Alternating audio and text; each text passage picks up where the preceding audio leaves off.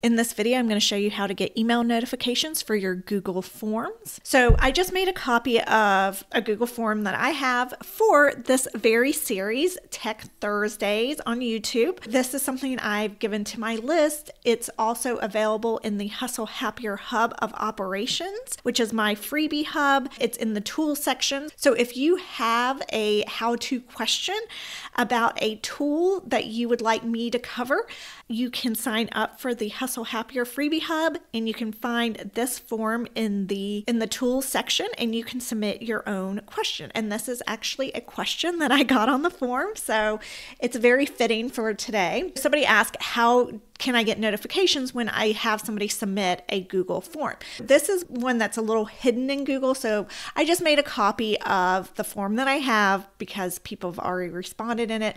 So what you want to do is once you've created your form and once you've published it, you want to go to responses and you want to make make sure it's accepting responses.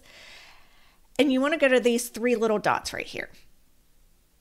And then it says get email notifications for new responses.